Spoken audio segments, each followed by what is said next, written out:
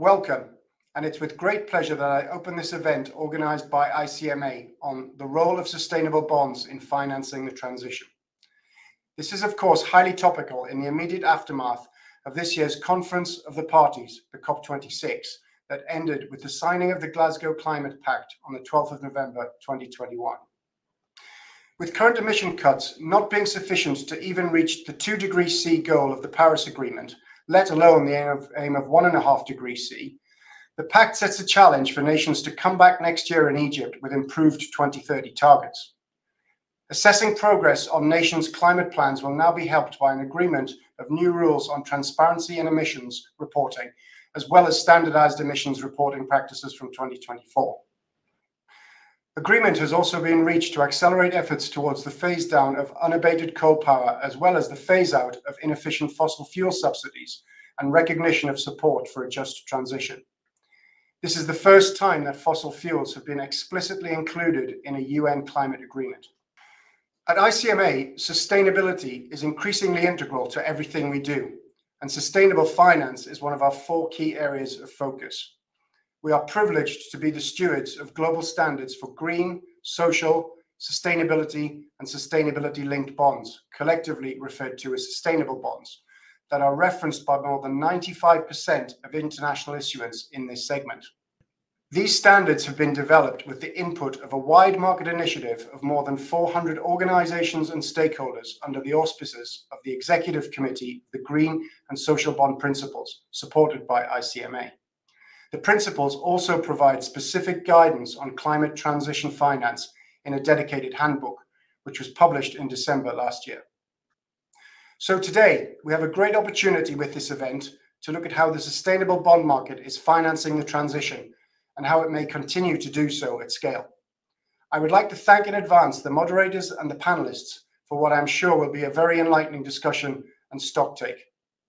I now have the great pleasure of introducing our keynote speaker, Jose Sainz Armada, the CFO of Iberdrola. It is a pleasure for me to participate in the International Capital Markets Association event on the importance of sustainable bonds to finance the goals of the Paris Agreement, including transition. No one doubts that the need to promote energy transition to tackle global warming and to make possible a true sustainable development throughout the world. The last special report made by the panel of experts created by United Nations to monitor the evolution of climate change indicates that global emissions need to decrease by at least 45% by 2030 and get to net zero in just 30 years from now. Therefore, we must already think beyond COP26 to deliver the Paris Agreement of limiting the global temperature rise to 1.5% centigrades by the end of the century. Since Paris, civil society is leading the debate, pushing governments. It is amazing to see how much the consensus has increased. While the conference continues to be hugely important for global efforts to step up action to prevent the worst impacts of climate change, we need to focus our minds to drive momentum across governments, the energy sector, financial institutions, and wider investment audiences about the action we need to take now to turn net zero ambitions into a reality. At Iberdrola, we are firmly committed to achieving these ambitious targets, which must be measured in every country. It's not only good for the environment and society, but also good for the economy, for business, and for our communities. It will bring enormous benefits to reduce emissions and improve air quality and health, to create economic activity and sustainable growth, to transform declining industries in decarbonized industries for the future, like, for example, shipyards uh, to offshore wind.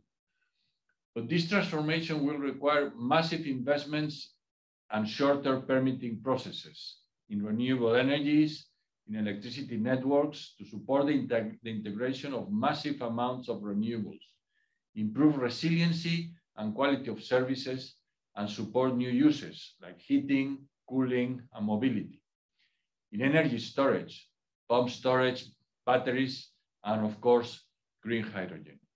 According to the International Energy Agency, $4 trillion per annum have to be invested in the coming years in clean energy. This means multiplying by three current investment levels. To sum up, the energy transition is the greatest investment opportunity at present, but it requires solid, clear, and stable regulatory policies with a long-term view that also includes ambitious targets. At Iberdrola, we anticipated the energy transition 20 years ago. Today, there is a strong consensus around decarbonization, but at that time, we had to persuade regulators, governments, and other market agents. Since 2000, we have investment almost 120 billion euros in renewables, electricity networks, and storage. As a result, we have transformed Iberdrola from a local Spanish utility with coal, nuclear, and hydropower into a coal-free global leader in energy transition. And we have done it without leaving anybody behind, reallocating and training the workforce. As a good example of what uh, I have just mentioned, is that we have launched an open innovation platform focused on just transition in Lada, which is a region of Spain where we closed the last coal facility of the group in collaboration with universities of the Basque Country and uh, the Polytechnic of Madrid. Right now, Iberdrola is present in dozens of countries with more than 100 million people served worldwide more than 30 billion euros investment in renewables, more than 35,000 megawatts of capacity, and around 300 million euros invested per year in R&D. We have, in 2020, emissions already below 100 grams of CO2 per kilowatt hour produced, storage capacity equivalent to more than 5 million homes, and 1,250,000 kilometers of power lines. After two decades of commitment with decarbonization, we are accelerating our investments with the largest plan in our history, both in our current markets, but also in new ones like the Asia Pacific. Almost all these investments will be directed to sustainable activities aligned with the U European Union taxonomy. It will almost double our annual investment of the last years to reach 75 billion by 25 over 90% of that investments in electricity networks and renewables, and 150 billion euros by 2030 that will enable us to achieve 100,000 megawatts of renewables by then and double our net and network assets base by 2030 to reach 60 billion euros.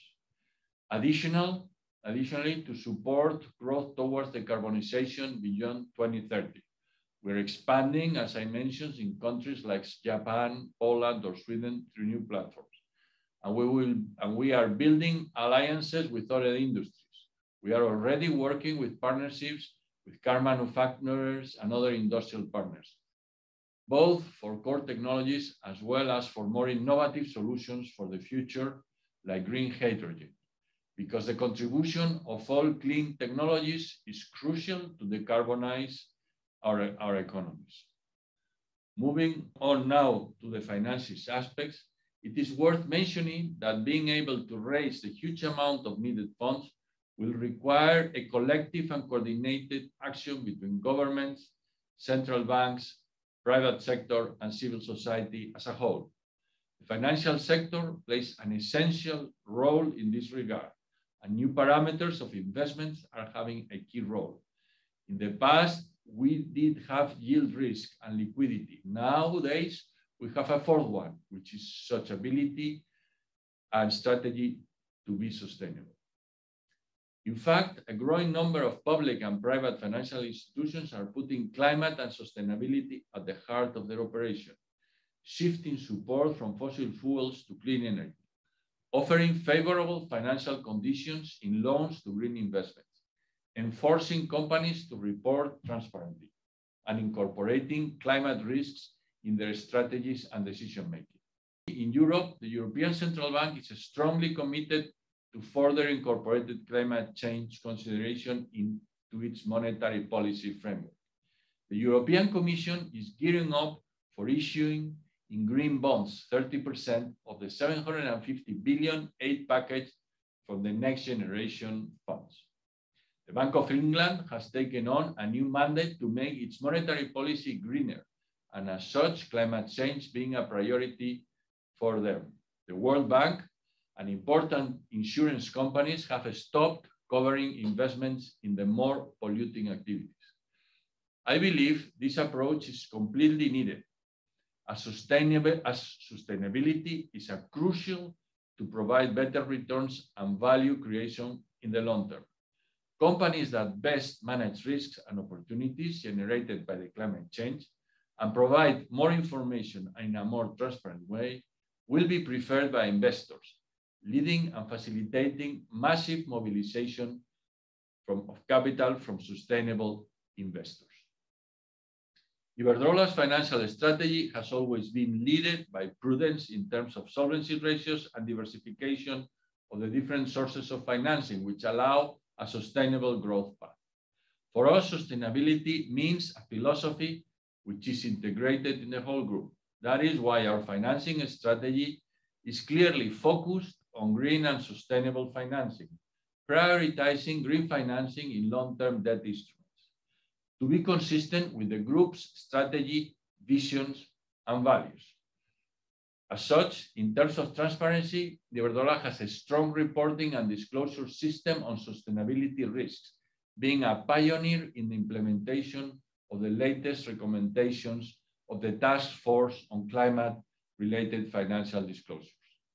Moreover, the group's green financial transactions are subject to Iberdrola's framework for green financing, which is aligned with the International Capital Markets Association green bond principles and only including assets and activities eligible under the European Union taxonomy. Use of proceeds, strict reporting, external verification, and strict standards for the eligibility of activities and assets, together with a full alignment to the company's strategy, are highly valued by ESG investors as it guarantees assurance and transparency on how many tons of CO2 they have contributed to avoid with these investments. The EU taxonomy demands reporting disclosure for both from issuers and from investors, while the final goal of attracting capital to sustainable investments, Iberdrola supports the EU taxonomy, and almost all the capex of the group will be directed to activities aligned. Furthermore, it would also be advisable to go beyond these regional taxonomies and move to international standards where the alignment of different players could be comparable. In any case, our policy claims are to have an ambitious approach to conclude the EU taxonomy and the EU green bond standards in line with the EU Green Deal targets. As of today, following this strategy, Iberdrola is a pioneer and world leader in green financing and sustainable financing with a volume of operations carried out at group level that exceeds 32 billion. We are the largest corporate issuer of green bonds worldwide, with more than 13.2 billion euros issued since 2014. These funds have been used to finance projects in renewable energy, expansion, digitalization of power grids, and storage. Last February, Iberdrola issued the largest green hybrid bond in history for 2 billion euros, raising funds to finance new offshore wind developments in France and Germany. Our commitment with green finance goes beyond the holding level, and thus our subsidiaries in the US and Brazil have already been tapping this market.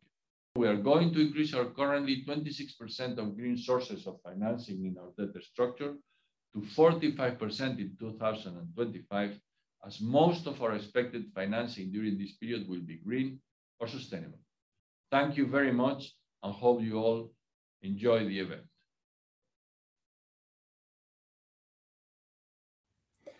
Hello, my name is Nicholas Pfaff, and it's also my pleasure to welcome you to this event. I'm going to provide you as an introduction with a overview of the guidance on climate transition finance provided by the Green and Social Bond Principles. Now, starting with a, a snapshot of, of the market, we can see that this is again another landmark year for the sustainable bond market.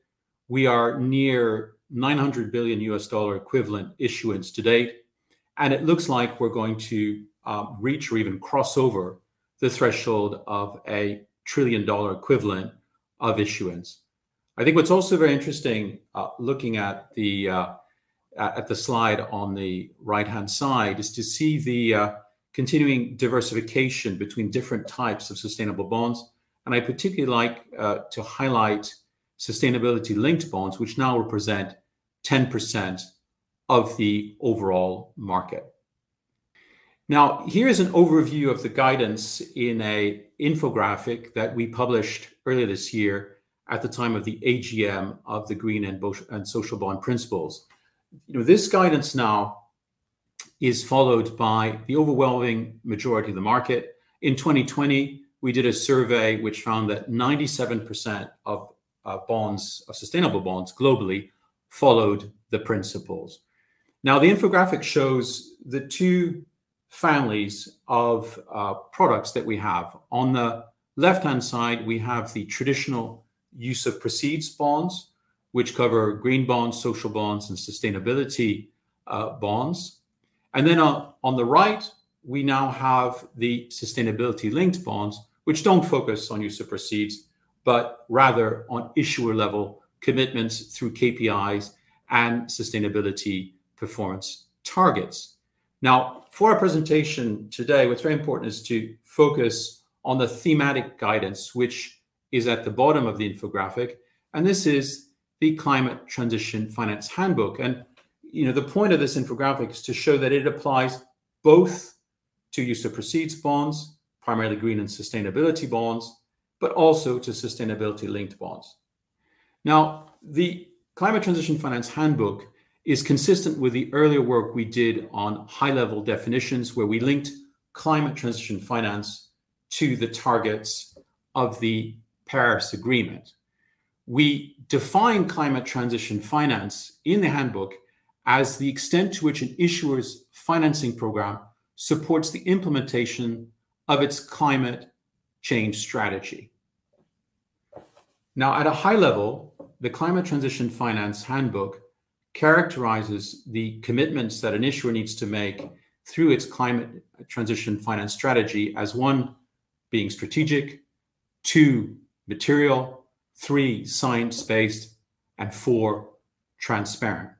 The handbook also confirms that the underlying financing strategy can be carried out through either use of proceeds bonds or sustainability linked bonds, as mentioned earlier. More specifically, the Climate Transition Finance Handbook says that the issuer strategy needs to address climate related risks and contribute to alignment with the goals of the Paris Agreement. Further, the climate transition trajectory should be relevant to the environmentally material part of the issuer's business model. The strategy also needs to be science based with targets and pathways. And finally, even though there isn't a focus on use of proceeds, there has to be transparency on the underlying investment program, including capital and operational expenditures. Now, after that quick overview of our guidance on climate transition finance, I would like to hand over to our great panel which is going to be moderated by Orith Azoulay from Natixis and Farnam Bidgoli from HSBC, both key members of the Executive Committee of the Green and Social Bond Principles. Thank you. Thank you all so much for, for joining us. Um, we're very pleased to have with us today a, a broad panel of experienced issuers and investors um, to discuss the current state of the transition finance market and give us their experiences as both issuers and investors. Orith and I just wanted to start maybe by setting the scene a little bit, um, particularly in the context of the recent COP26 discussions uh, we wanted to maybe uh, give an overview of what we see first in terms of the state of the market today, as well as some of the recent announcements that have been made and how this aligns to um, the broader discussion around transition finance. So you've heard already from Nicholas with regards to the, the growth of the market um, nearing, of course, 1 trillion in issuance um, across green, social, and sustainability bonds. About half of that comes from either green use of proceeds or sustainability linked bonds. So effectively over 50% of that 1 trillion is, is contributing to, to green transition finance. Across that half, about half of that comes from issuance in Europe, although we do also see healthy volumes of issuance from Asia and uh, the US. Most importantly, for today's discussion, about 300 billion of that issuance actually comes from corporate issuers, including key sectors from the transition, materials, energy, and, and utilities. Certainly, we saw an an the acceleration of, of issuance this year, you know, the doubling that, that Nicola uh, pointed to, um, that can at least be, be partly attributed to the momentum around COP26. You've already heard from our colleagues at ICMA and Iberdrola around the importance of discussions at, at Glasgow. Certainly, I think that um, the, the president of, of COP26 put it best, um, Alok Sharma, when he said that it represented a fragile win for the climate, that we had kept one and a half degrees alive, although only barely. I think if you're an optimist, um, which I am, uh, you can take comfort in the fact that COP26 has developed a kind of infrastructure of accountability around climate ambition and targets, not only for countries through the annual stocktake, but also for the private sector the formation of the new International Standards Board, which has consolidated a number of existing sustainability standards, including CDP, SASB, and TCFD, that will develop a global baseline for sustainability standards and disclosure. Basel will also coordinate with the IFRS to ensure that this standard is enshrined within the, the climate disclosures coming from banks and required by banks um, equally, through the Glasgow Financial Alliance for Net Zero, we've seen five, 450 institutions, including some of the institutions on the call today, committing to adopting science based targets, adopting near term targets in alignment with that, and reporting annually on progress and this focus on, on sort of credible transition plans and, and the evidence of, of progress towards one and a half degrees was certainly echoed by a number of the other regulatory bodies um, during COP26, including the EBA, the Treasury of the UK, which um, has uh, made announced mandatory transition plans for all um, listed companies, and indeed also the FCA. I'll pass over to Orith now to speak a little bit more about the kind of surge of regulation that we're seeing across Europe. Thank you, Farnam. Just a couple of words. I think um, you've all seen, uh, but the numbers are quite telling in terms of um, the outbreak of net zero commitments, both from countries, regions, and companies. Uh, those are a few numbers just just showing more than um, 600 companies um, over the, the largest world um, companies have already committed to net zero commitments. So we're we're in an era in an era where um, this is going to be require financing for sure, but also preparedness and an action plan. And I think, um, you know, if there is a if there is a key issue in this matter um, in 2022 is um, is the ability the ability to evidence um, the credibility and the preparedness of all parties um, that, um, considering the commitments that have that have been made. And I think this is exactly what um, the regulation are trying to push through a great number of disclosure related regulations in Europe, definitely um, at, at all, from all fronts investors, uh, financial institutions in general, investors, banks, and insurers, but also companies. Um, and if, if you go to the next slide, we're talking about, of course, the taxonomy that you all know of, but the taxonomy, as also you you know, is a um, I'd say it's a foundation for a myriad of of regulations that are going to go from standards and labels um, to disclosure uh, through benchmarks um, and um, and potentially I think we're we're seeing the uh, um, the discussion on the prudential regulation getting a bit more lively than it has before um, at uh, at the European level. So without going into any more details, this is this this was more to say that um, climate related disclosure and um, demonstration of preparedness and credibility is, is, is what the regulators are expecting and um, and the um, and what the investors are more and more voicing out. And that's what we're going to try um, to discuss today. I guess uh, one of the topics that uh, has been very much discussed on uh, the sustainable finance and especially sustainable bond market is uh, are um, the, the, various formats that can be used to um, to achieve that um, these um, the financing of these uh, strategies. You know, means and results matter, and I think we have com- um, complementary tools that can and should be used to to fund those strategies. So today we're here to uh, discuss with a, uh, a, very senior and knowledgeable panel on um, on all those um.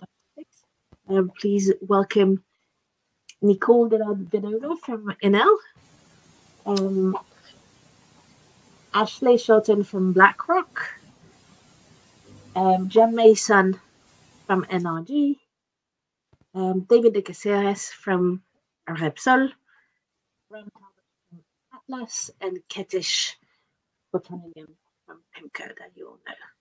Thanks so much, Larry. So we wanted to start maybe by by hearing a little bit from um, a couple of the issuers on the panel about your motivations when it comes to issuing um, either green or sustainability linked instruments. And Jen May, I'd like to start with you um, because NRG issued your first sustainability linked instrument and your framework indeed last year, and you followed it up with a second issuance um, in August of this year.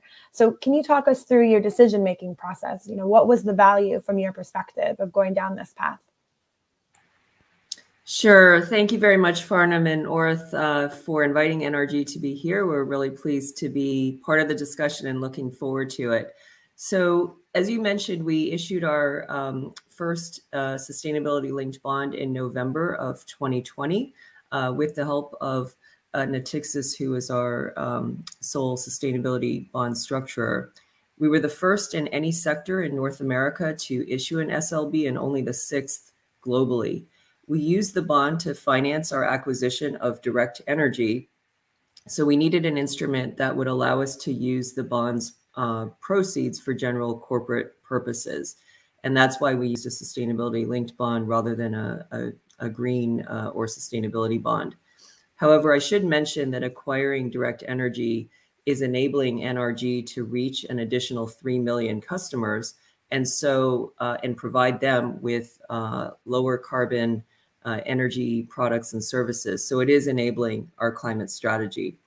The value from our perspective was really uh, in two parts.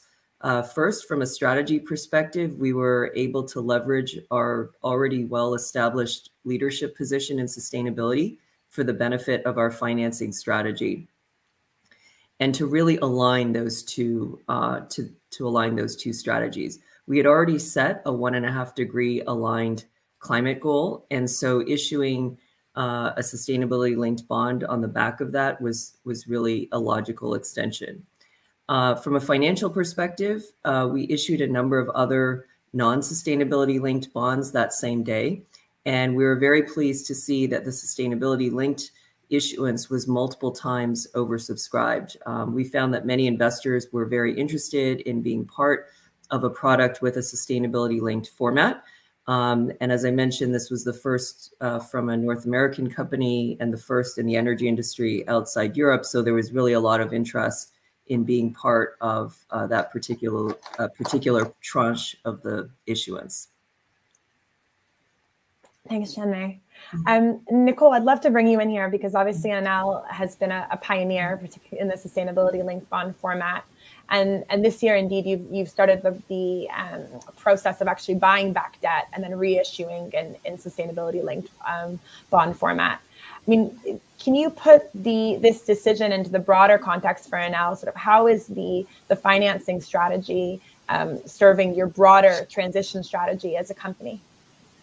Sure, thank you, Farnam, and good afternoon to, to everybody let's say that over the past five years, Enel has transformed to be ready for the electrification of our customers. Uh, we have significant, significantly decarbonized our generation. Uh, we have digitalized our network to accommodate increasing amount of renewable, offering high quality and reliable power. We have uh, accelerated the, the platformization of the group to, to support and uh, improve our customer proposition. Let's say that the three main pillars of our strategy are the decarbonization, electrification, and of course the, the digitalization or, or, platformization. With our new plan that we presented uh, November 24th uh, to the financial community, we will mobilize a total of 210 billion that uh, will be invested uh, between 2021 and 2030 that will allow us to be front runners in the electrification process and also to bring forward our own net zero target from 2050 to 2040 on all scopes, so direct and indirect emissions, as uh, we see the next uh, 10 years uh, strategy as pivotal, I would say, to, to address climate change issue. Uh, with our plan to 2030, our main objectives are reach a total renewable capacity of 155 gigawatt, so three times uh, current portfolio, quite an, quite an ambitious target, I would say. Reach a total grid customers of uh, 86 million. We are now at 74 million and the increase of 30% in electricity sold to our customers coupled with the new services.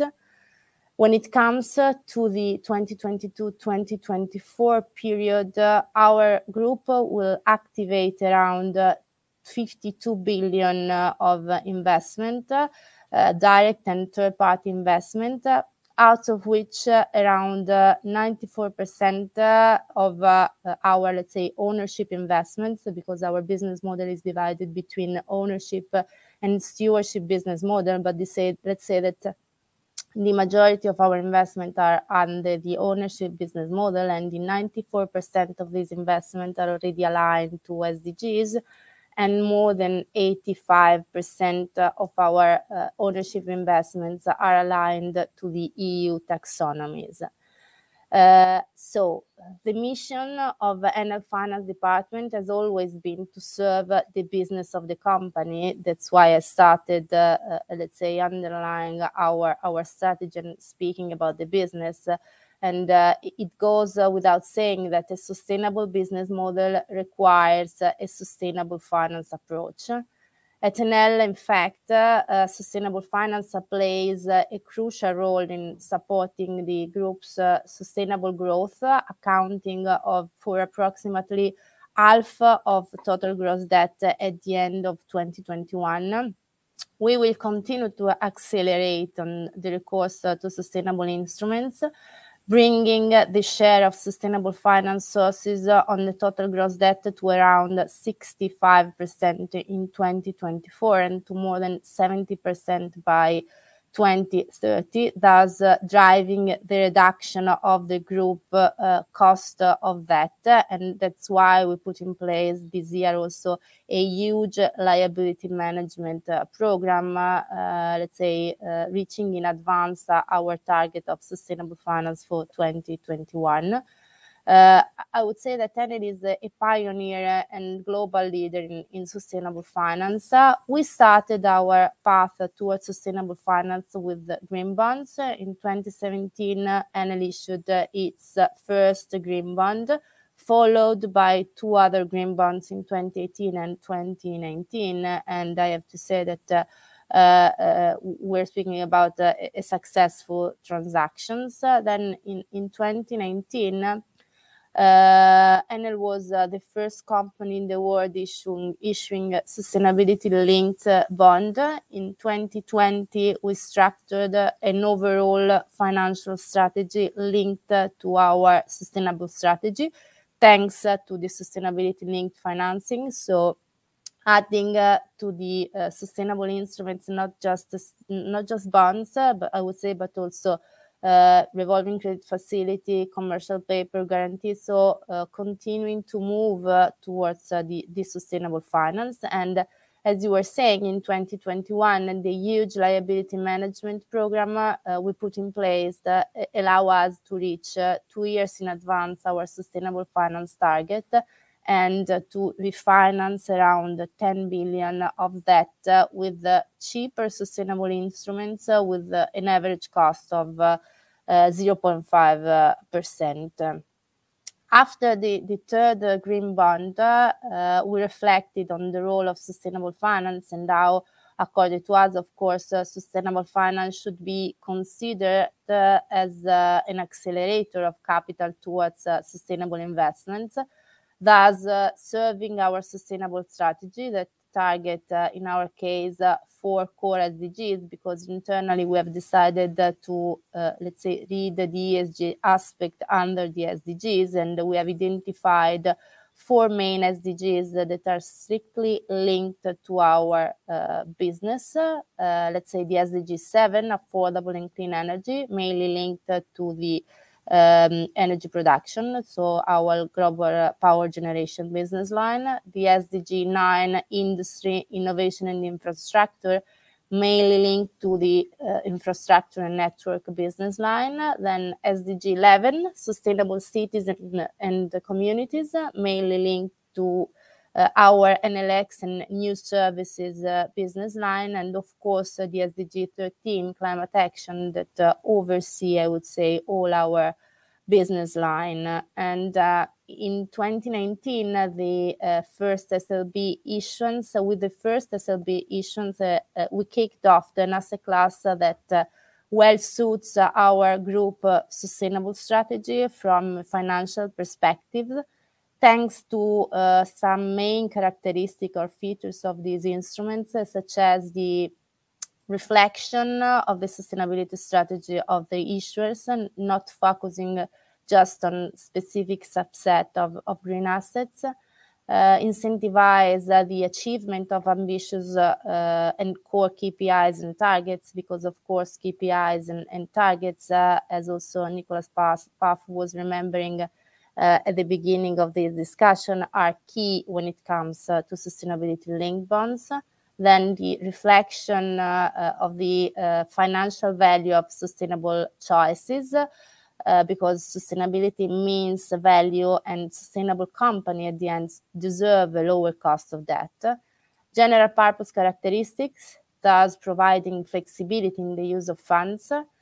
Uh, usable uh, uh, by a wider range of issues and sectors, so not necessarily capex intensive one, and also ideal to support, uh, uh, let's say, the, the transition strategies, KPIs and targets applied to the whole company instead of, of specific transaction this is uh, how uh, we intend the sustainability linked bonds uh, and uh, why we have decided to move towards sustainability linked bonds. Uh, and yes, uh, let's say that our commitment to sustainable finance is bringing, let's say, bring us to issue just sustainability linked bond going forward, also to meet our target.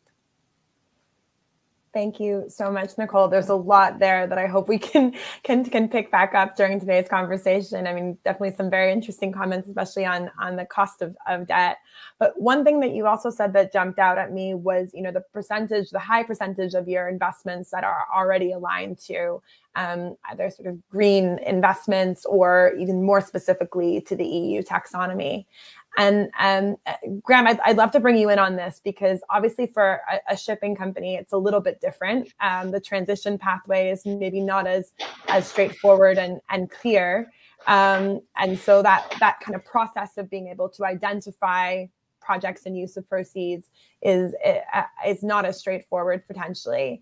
And and yet you have issued both a, a, use of proceeds bond under your blue transition framework earlier this year and also a sustainability link loan and bond. So how are you communicating through those instruments and, and frameworks um, the commitments and the pathway that you have as a shipping company towards um, a transition yeah, so good point. So good good afternoon, everyone, and thanks for the opportunity to participate. Um, I think uh, people who are aware of the shipping sector is um, under uh, definitely in a transition phase, and therefore, as sort of one of the largest participants in that sector, you know, you can't sit by and, and do nothing. Um, some of the solutions that have been proposed um, to dealing with emissions in our industry are things like slow steaming, which means that you go slower and you produce less emissions, but that just results in more ships being put on the water. So for me, that's not really a, a workable solution. The challenge we have is that there is no one clear pathway to uh, net zero. And um, there's a massive invested infrastructure in supplying the current fuels that we use today. So therefore, you know, there's not a magic bullet, and um, the industry is working multiple pathways at the moment um, to reduce um, and, and, try and uh, participate in a lot of R&D on new technology and new fuel sources, but we also need to have a supply chain to deliver those. So some of our earlier financings we did were sustainability linked on metrics, um, and they were well received in the marketplace. The last one, as you mentioned, Farnam, was um, our US high yield, which was under the blue transition bond framework. So blue is simply the maritime version of green, and transition is reflecting, you know, as I outlined, um, you know, we don't have a, a target yet to get to the end game, but there are significant investments to be made in that um, process of getting there. And at the moment, you know, for example, we're building 25 dual fuel vessels, which are dual fuel bunker and LNG, which have a significant reduction in CO2 emissions, but of course, it's not the end game. Um, so these were received well in the market. Um, we're substantially oversubscribed by nearly five times. Um, whether that's due to the linkage or other attributes, um, it's certainly part of the mix. Um, I think it'd be highly unusual for us um, going forward to not be uh, issuing uh, debt under any sort of sustainability or uh, transition framework. Um, I think it was mentioned by Xiaomei and others that when you do these things, it's a becomes a, an integral part of your organization that you decide to make these decisions. Um, you know, we, we, say internally, good companies do the right thing. Um, the the industry is in transition. Our customers are in transition, and we need to be part of that transition. Therefore, you know, we will continue to focus on this, and um, you know, the I think the interest, and you know, we talked about it previously, is you know, at the moment the pricing impacts are not that material. I think that will grow over time, and that will become more material. But clearly, there is um, uh, an access to market and source of funds uh, benefit, I think, which comes with doing this, which certainly puts more competition into the issuances. Great. So I think that's a great point to maybe bring Ashley in on on that sort of investor engagement piece as well. Um, you know, uh, we've now heard from I think the issuers some some really consistent themes around you know the way in which this aligns to the strategy, the way in which these instruments act as kind of communication tools, and also hopefully help to to pull up um, uh, more investor interest. Um, as an investor, Ashley, what's the role of, of sustainable bonds, either use of proceeds or sustainability linked in, in your portfolio? Why are you buying on them, buying them, and how do you report on them? Yeah, sure. Well, hello everyone. Um, thanks for all the many years of work in this space. You know, BlackRock's been a big supporter of these fixed income instruments, um, going back all the way to 2014, where we were uh, one of the founding members of the GBP. Um, and since then, I can't believe the kind of progress that we've had over these years has been amazing, um, much to the work of all the people, you know, on the screen. So, you know, as an asset manager, you know, BlackRock, what we're really doing is responding to the client need that we see. And we have a lot of places where we use these types of instruments. So I'll just, you know, run through some examples of them. So I'd say the first is that we have standalone green bond funds. And I think we we run maybe, I think the largest, if not one of the larger uh, green bond funds in the market. Um, and so always just using green bond indices for those, um, evaluating the green bonds as they come to market, reporting on that, et cetera. Uh, we also um, are using um, green bonds and social bonds, sustainability bonds at GSS as part of our impact platform. And so as we launch products with uh, for with impact labels, using that as a way to express impact in the fixed income space. Um, we're seeing more and more clients asking not necessarily just what is the risk of you know the holdings I have in in my portfolio, what is the risk of climate change, but what good am I doing in the world? What kind of externalities can you report to me? Um, and so um, just as an example, recently have um, have an Offering that's an impact offering using GSS bonds around that. Uh, also, as part of many ESG funds and fixed income, even if the entire fund isn't uh, a use of proceeds type fund, we can look at other instruments, um, and we will usually have some sort of set minimum uh, for green bonds as part of that portfolio. So looking at all sorts of other things around ESG, uh, but making sure that we have a set minimum on those ESG funds to actually have that kind of in, impact. Thinking about things like SFDR, how can we prove uh, you know environmental outcomes, social outcomes, et cetera. Um, the next thing that I would mention, which has been a really interesting development, is the use of this format for sovereign bonds. And so we're always, uh, you know, thinking about this issue. Sovereign bonds make a bit a big part of fixed income portfolios. How do we think about positive externalities for sovereign uh, portions um, in a fund? And so now we've had a, a number of uh, a good uh, issuance from sovereigns that we can include an upweight as part of impact in some of these ESG funds that hold sovereigns. Um, in terms of climate tilted funds, having a lot of inquiry on net zero approaches. Um, green bonds are an ideal way to get, especially ones that are focused on mitigation, to get a net zero view. Um, in a fund, we recently just launched a climate high yield fund, um, which has a strong tilt toward green bonds as we see them in the space. And we're looking for more and more issuers of good mitigation bonds in, in, in, in the high yield space. And then finally, that I'd mention that there are um, a number of companies in the hard to abate sector um, that would classically be screened by an ESG approach. And I think we want to go above and beyond that. We want to really think about for those projects within the companies that are actually in line with two degrees are transitioning could really be defensible as green, how can we make room for those projects um, in an ESG fund? I think a classic example is in the utility space, especially in the US utility space, we have a number of funds that um, would traditionally screen coal generation. Um, but if you have a good green bond from one of these utilities as funding renewables, et cetera, we allow that to actually flow through those classic screens. So in my mind, you know, it's not really a, a question of only green issuers can issue green bonds.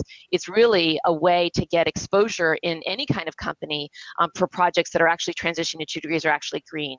And so, it, you know, I know there's a, I think there's a debate in the market. You have to be green to issue a green bond. Not necessarily. I would say probably the, the, the punchiest green bond we might get would be a really good green bond from an issuer who otherwise is transition or otherwise be considered brown. Um, and so then to the second part of your question, you know, how do we report on them? And so I, we do a couple things uh, with clients. We obviously will just show the percentage of green bonds in portfolio. We get a lot of inquiry on that. Just what is the percentage holding of green, social, sustainable bonds in portfolio?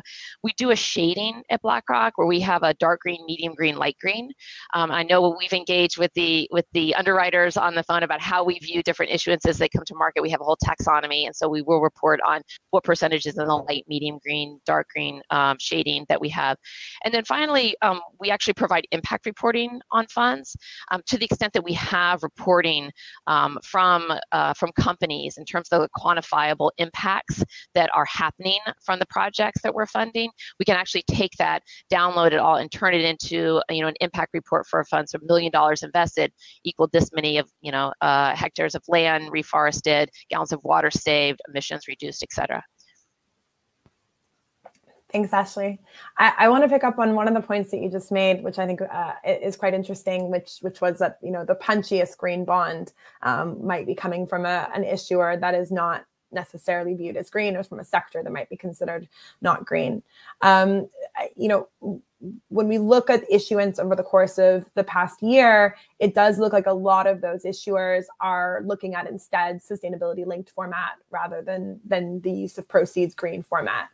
Um, so, Kadish, I'd love to hear your view on this. I mean, uh, uh, would you agree with Ashley's point around you know the market being open to to both um, both formats being open to all sectors, um, or would you see maybe sustainability linked as the more natural choice? So, I think you answer that on a couple of levels. First of all, why did SLBs emerge um, as an instrument for uh, corporate issuers? And I think it was to separate the idea of use of proceeds it, to general proceeds. And what encouraged us, especially you know with Nicola's um, issuance when it first came, because they were a pioneer in the market, was that the the nature of it meant that a company could start to move generally in a direction towards sustainability um, without having to have a specific project in mind that they were financing.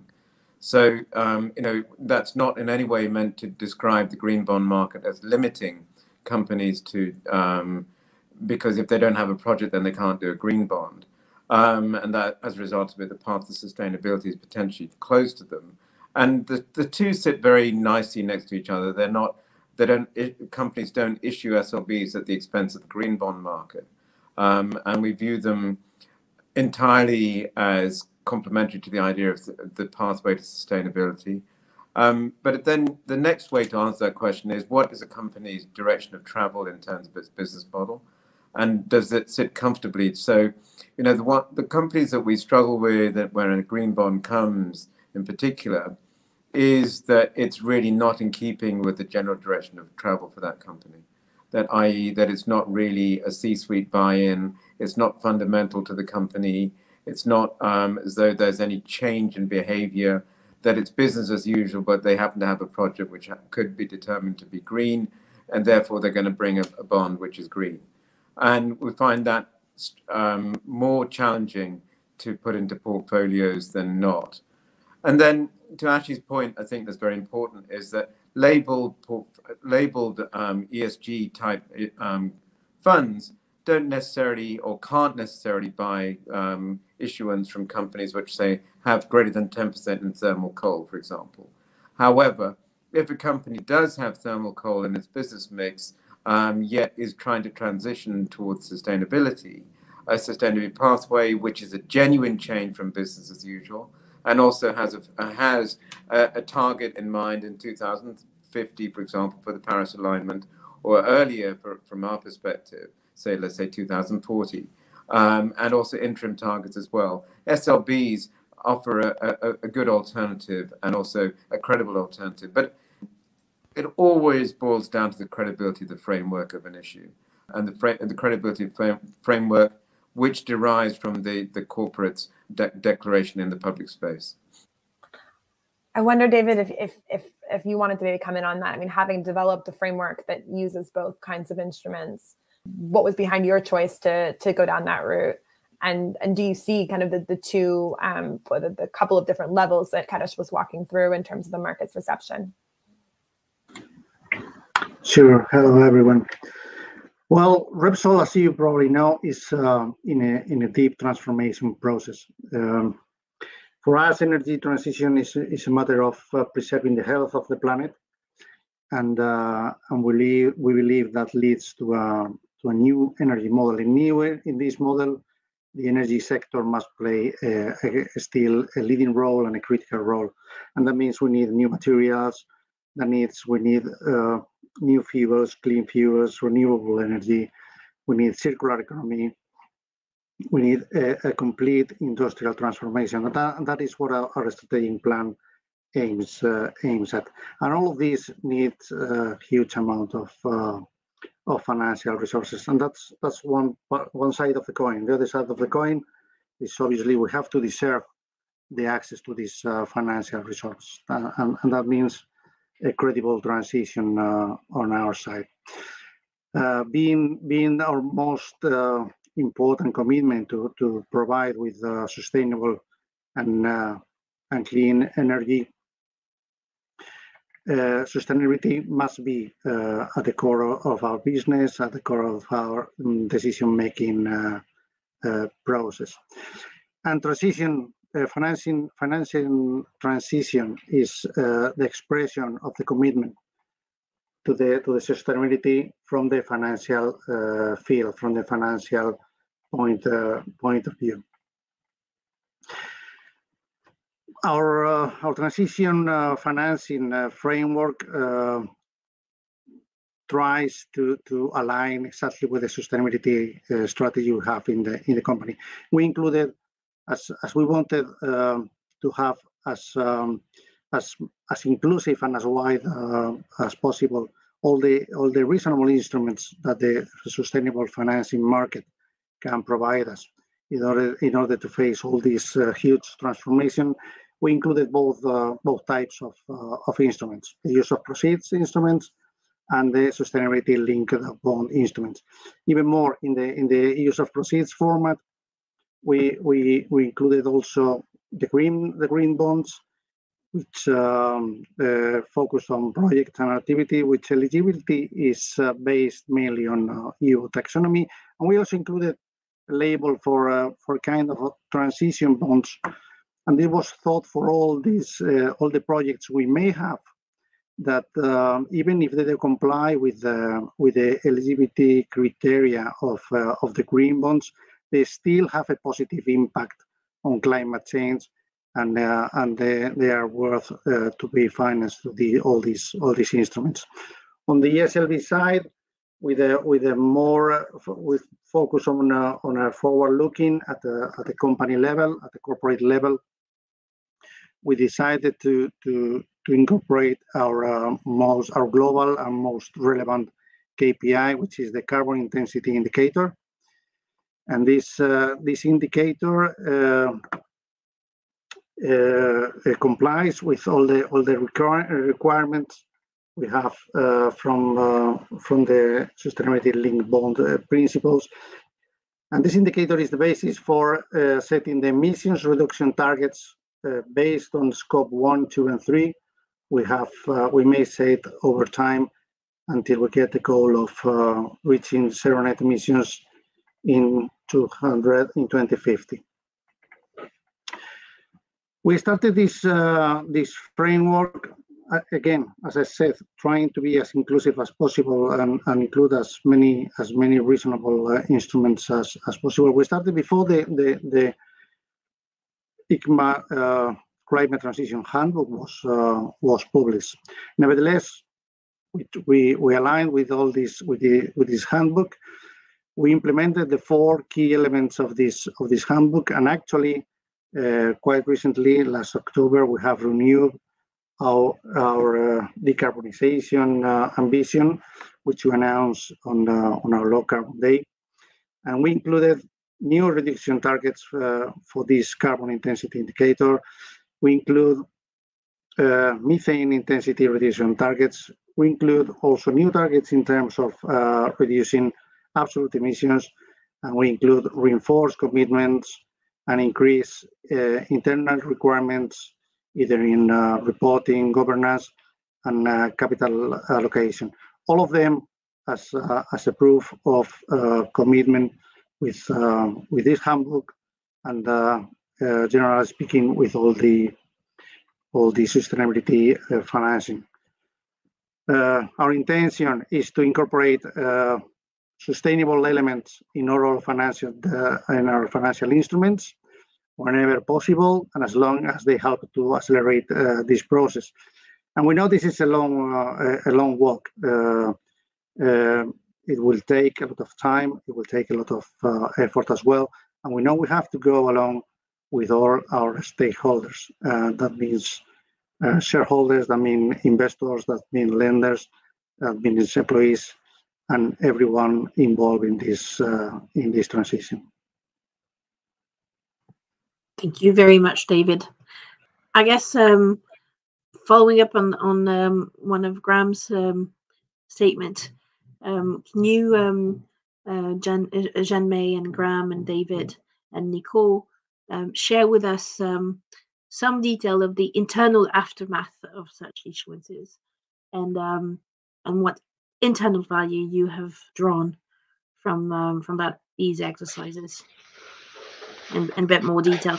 Sure. Thanks, Orith. I think um, there's not so much an aftermath. I think it's more beforehand, um, getting alignment with all the parties, and I don't mean all the parties, you know, and it's um, from the strategic level um, at the executive down through operations and of course into finance. And it's it does establish an interesting dialogue when you've got finance driving um, these sorts of discussions across the organization.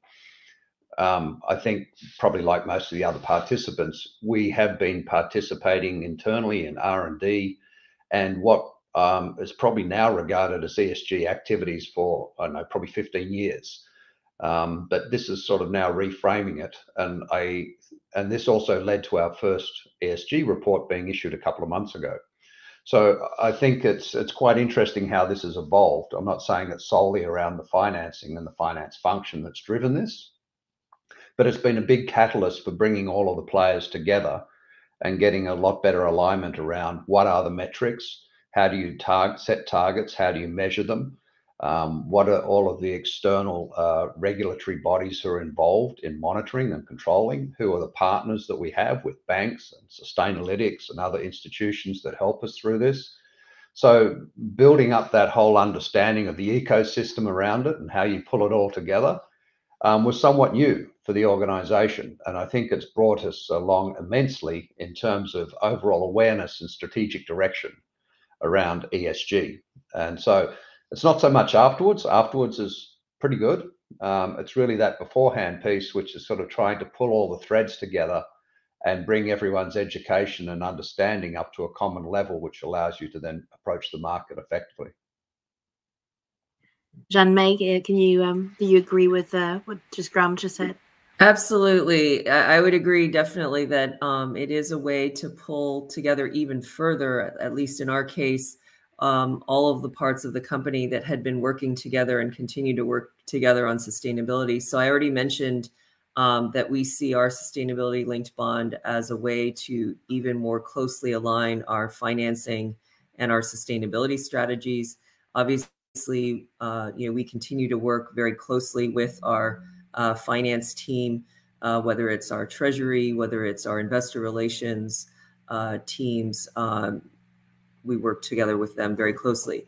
The other thing I'll mention is that when we wrote our framework, um, it really forced us to be even more explicit about the levers that we're deploying to meet our climate goals. And so, of course, that means really working with um, others around the company, both from our operations team who are implementing various power plant optimizations to meet our goals, as well as with our home and business teams who serve our customers and who are procuring um, more and more renewables through um, third party power purchase agreements. So, working closely with both the business and the operations teams uh, has been very uh, important as well. And, and we certainly uh, did that before the SLB, but we continue to do it uh, perhaps even more so uh, in the context of the SLB.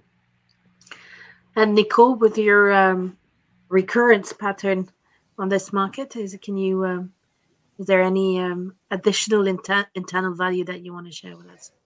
Uh, sure, but I have to say that uh, Graham and Jamme already said uh, a lot of the points. Uh, uh, of course, when it, when it comes to Enel, uh, given the fact that it, it, was kind of innovation, our sustainability linked bond, because it was the first on, on, on the market, uh, we did a lot of, of pre-work, of course. Uh, I would say both uh, internally with our top management uh, that of course uh, did a lot of challenge uh, on on the idea but at the end both the ceo and, and cfo realized that the idea was sub- substantially i would say about putting the money where, where the amount is as sustainability linked finance really links uh, the strategic and sustainability commitment of the company to the core debt terms. Uh, and uh, uh we did uh, a lot of work uh, with the multiple functions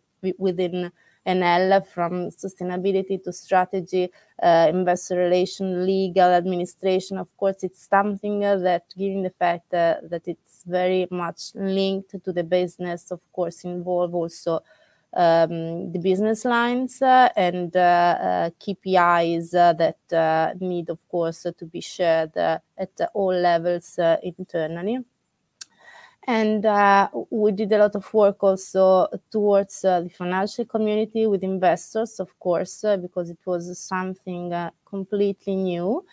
Um, I have to say that, uh, as already Katish uh, mentioned at the beginning, of course, with, with PIMCO uh, on the sustainability linked bonds, uh, it was kind of a partnership uh, uh, because we uh, let's say bring uh, uh, somehow together these new instruments on, on the market but we did a lot of meetings with with investors i remember so probably the first meeting that we had on sustainability it just to present sustainability link bond one of the first was was was with ashley and uh, in US probably, and we started, uh, let's say, reasoning about that. Uh, it, it wasn't so great, uh, I would say, that that meeting at the beginning, but uh, she uh, she did a lot of, of challenge, constructive ch- challenge, uh, and it, it, was of course useful uh, to to find uh, a product uh, that was kind of um, a win-win solution for both issuers and, and investors uh, because of course uh,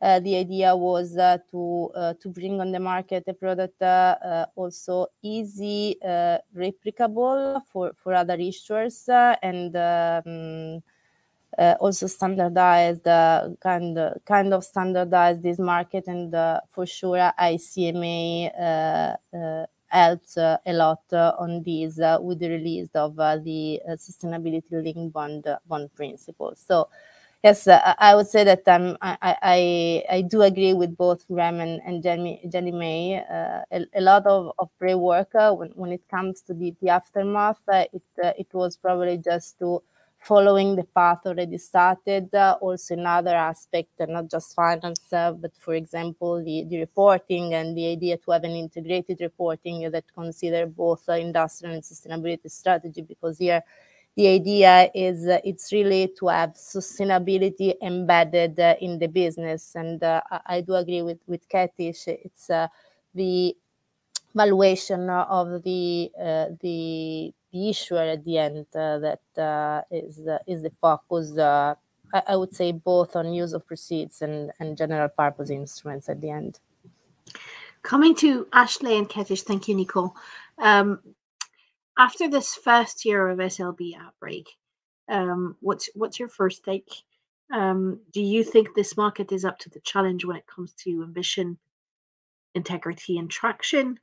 Um, and um, what are the you know the key success factor for for this um, for this to work, and and how uh, maybe more for Ashley, how is that um, to be combined with the uh, use of proceeds uh, market? Yeah, maybe I'll kick us off. You know, I think that, you know, one thing that, you know, I'd want to stress, and I think sometimes this gets lost with capital markets teams necessarily who are working on transactions in the capital markets is that investors are looking at these companies holistically. Um, we are looking at the company profile. Um, we are interested in what the goals of the company are.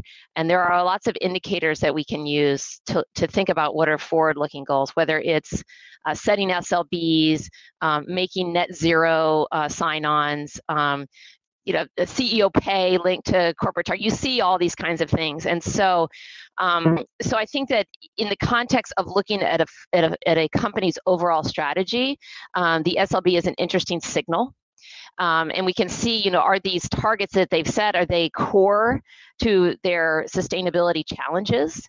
Um, you know, if you have a company that has environmental challenges as, as part of their material sustainability challenges, making KPIs that are not, you know, related to that necessarily, um, then you sort of, you know, have to question how, how important are these KPIs to this company's journey? And so I think that investors are, you know, evaluating these bonds as they come, trying to understand, how, how significant these are. Uh, these step ups are they just business as usual? Um, how um, punitive might this step be in terms of force a forcing mechanism to you know to have the company change, or is it really something that's just a signaling to highlight um, you know to highlight to investors what the company is doing holistically. And so I think we're all trying to kind of flesh out, you know, flesh out that. Um, you know, I think probably what we will start to see is some sort of scoring of how ambitious the target could be for a company. Those kinds of things are really helpful to wonder, do we treat this particular CUSIP any differently than we would treat all the parent debt of this company? Um, so I know, you know, some of our panelists mentioned that they're going to do all of their debt this way. And so, so I think that will be the question in the market is as investors, if, if these are KPIs at the parent level, you know, should we just treat all the all the debt the same as a sort of signaling um, for for a company's forward goals? What's pleasing for us is that the variety of names which is coming now, um, and the breadth of the market has grown. The volumes remain um, less than say the green bond market. But then I think it's that uh, the market itself is getting used to this product. It's, it's only a couple of years old. Um, what's interesting is that it's both venturing into the high yield market as it is an investment grade. And when when um, when the green uh, sustainability linked bond principles were written, I think the objective at the time was to give the market the latitude to grow and the market the ability to sort of express itself a little bit um, before starting to get more uh, demanding in terms of, say, structures, etc.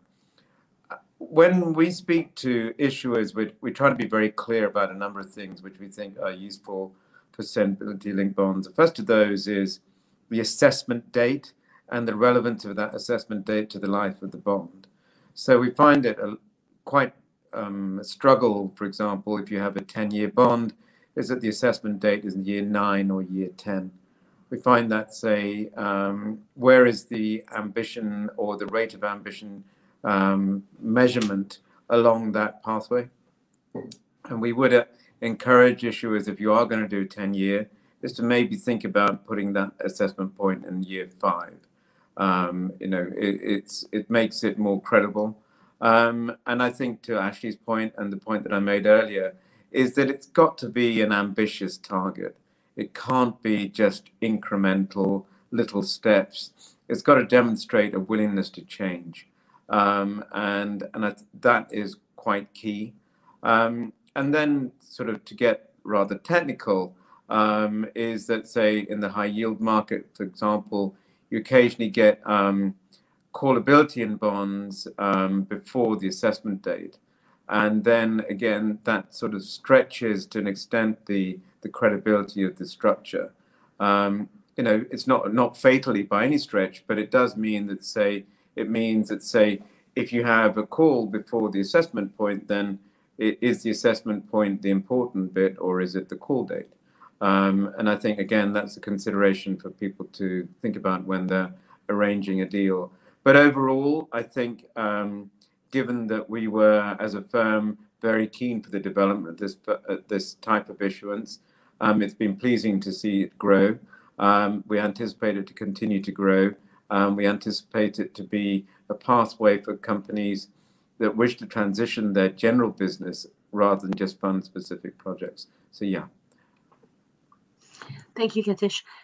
Maybe um, a, a, couple of words of the challenges encountered. I mean, you've started mentioning some of them. Uh, um, SPTs, timing of the uh, of the uh, uh, the milestones, the assessment dates, as you as you call them. Um, maybe uh, David, Jan May, Graham, Nicole, you want to share um, in a synthetic fashion, if I if I may, a few of the key challenges that you've encountered in the process of a product, which, as uh, Ketish just mentioned, was designed um, and, and, and has been framed so far in a manner to allow um, the market to, to shape itself. And we're probably getting to a point where we might want to um, clarify some of that framing to help it uh, grow further. So, um, David, if you want to share um, some of your views on what what have been the key challenges in the process? I think that the financing uh, function uh, has changed dramatically with all these uh, with all these instruments. I remember some some time ago uh, that was your own decision uh, on the on the financial side. Now, as uh, as all my colleagues have have also presented, you are pretty much connected to to to all the all the business units and all the corporate units. Now you need the the the the, the inputs of, of everyone every and, and every every single change in in in around or internally in your in your company can be affecting your uh, planification can be affecting your strategy and your financial strategy and this has uh, i think this this has been very helpful for everyone I think um, we all understand now internally much more of uh, sustainability and sustainability process. But I find that many many units they also understand better now finance, uh, and probably we all understand more the business. But also we understand more, and we know much more now from our investors.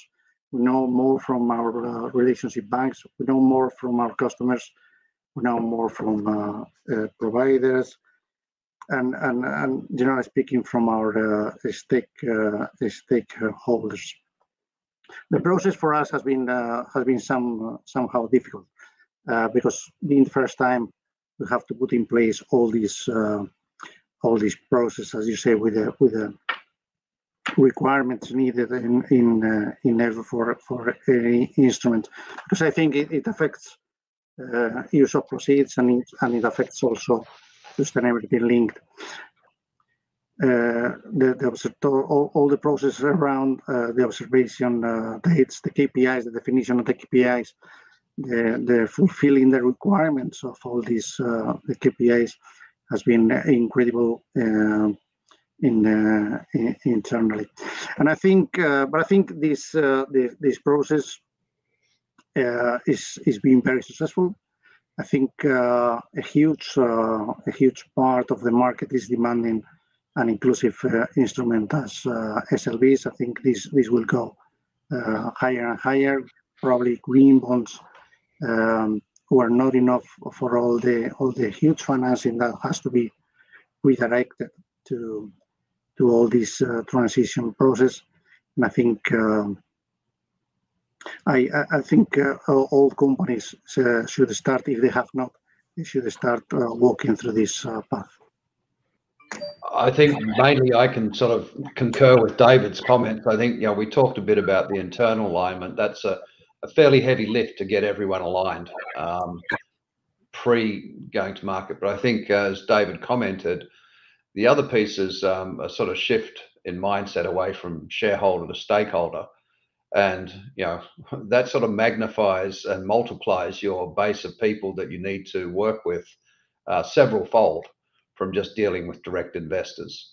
And I, I know that's sort of a, a, fairly common element that's um, pervasive across a number of businesses through a number of different themes. But when you start to look at climate change, ESG, etc., and you start to focus on that, yeah, it's one thing getting aligned internally, but um, understanding who that broader stakeholder audience is externally, and then making sure you build the appropriate networks and have the right discussions with them is also quite a complex area to navigate. And um, yeah, I think it's just the the only other comment I would make is that you know earlier on, you know, we are talking about we lock these in things in for a number of years. I think that's okay when it comes to use of funds because it's um, relatively straightforward. But when you're linking it to performance metrics, um, then it gets interesting because over duration, those metrics shift, the approaches change, and targets can actually become actually more aggressive um, and more meaningful. So I'm not really aware at the moment of how you recalibrate those things um, or whether you just go out with a new bond and, and pay out the old one and put in a new set of metrics, for example. I'm sure the banks would love that. But um, bottom line is that um, I think we're still learning, you know, and we've got to remain pretty agile in terms of how we manage this. I think every company doesn't want to get ahead of itself in terms of commitments. You know, we want to sort of be progressive and we want to push forward, but obviously we don't want to put ourselves in a position where we um, extend ourselves too far and get into a position where we can't deliver. And um, so it's a very fine, fine balance at the moment, and I think we've got to manage it cautiously. And yeah, but you're, you're all um, um, the very topic come up in the discussion we have within the Sustainability Linked Bond Principles Working Group in the next phase of what's what's needed in terms of guidance and um, and support to the market. Yeah, I mean, actually, the question you asked was about challenges. I mean, I would say that our issuance really didn't have a lot of challenges because it um, it relied on a goal that we had already set before. Um, which, uh, as I mentioned, is one and a half degree aligned, and it's been validated as such by the Science Based Targets Initiative. So, in terms of the KPI, um, it's a well known KPI. Uh, the measurement and reporting of it, we've reported it annually to the, among others, the US Environmental Protection Agency uh, in our sustainability report. And uh, we have a separate greenhouse gas emissions report that is assured by our um, auditor, which is KPMG, who is also our financial auditor. So we've done that for a number of years. And as I said, you know, I think what we, um, you know, base the SLB on, the KPI and the SPT, were very well uh, recognized. So we, we haven't had uh, you know challenges arising from that. We also had our framework um, uh, have a second party opinion issued around it uh, by Vigeo Eiris, um, and they said that um, the framework is aligned with the core components of the sustainability linked bond principles and in line with the best practices that uh, they've identified. So I think all of that together actually made for a rather smooth uh, issuance in terms of um, you know the governance around our bond.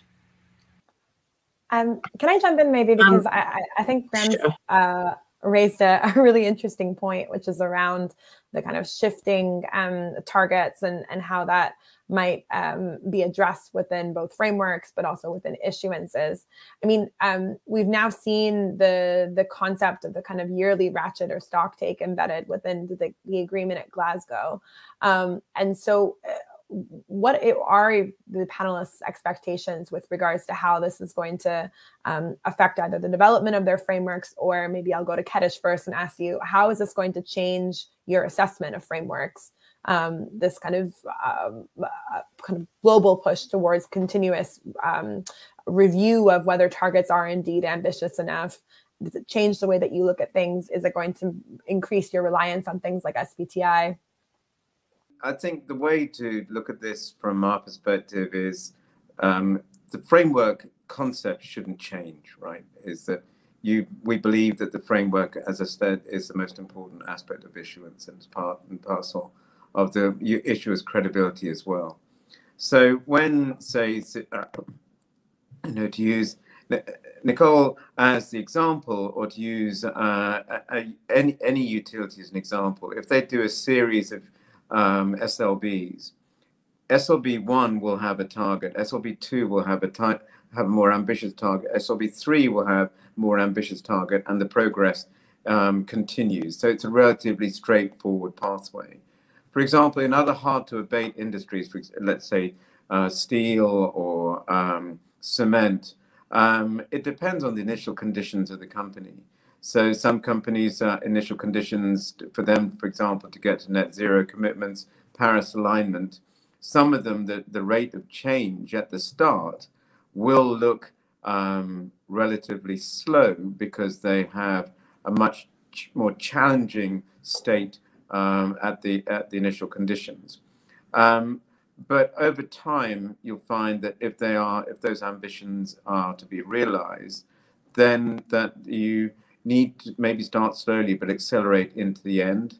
Um, so what we're trying to do is uh, track that progress, and we like the idea of regular issuance coming in this form because then it sort of reaffirms that commitment to uh, to a gradual path of change, um, if that makes sense.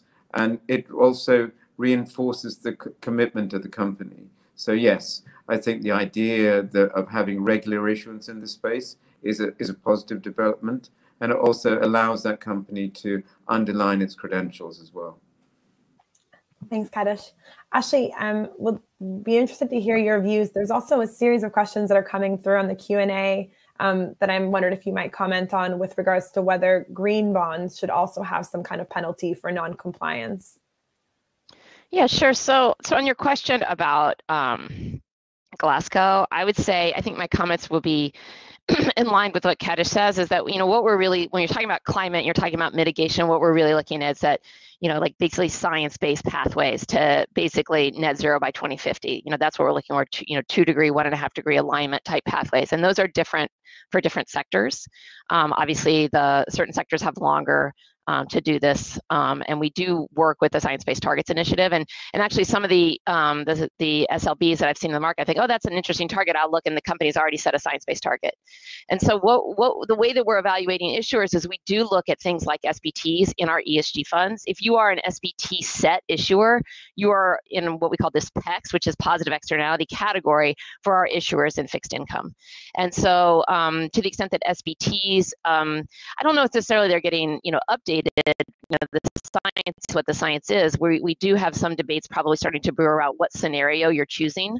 Um, and then we can debate about you know the, the underlying climate scenarios used but i don't think it necessarily changes anything i think we're, we're looking for that um, the other thing I would say is that um, we will probably start to see more and more development of something called the implied temperature rise metric.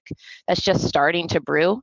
Um, that's the one number metric that we'll see for companies, whether they're two degree, three degree, four degree aligned, really looking holistically at the company's um, spend, R&D, forward type commitments, et cetera. And those are just, I think, starting to emerge as tools that investors can use to understand a company's alignment toward that sector pathway. Um, so that's really exciting, uh, exciting uh, stuff happening.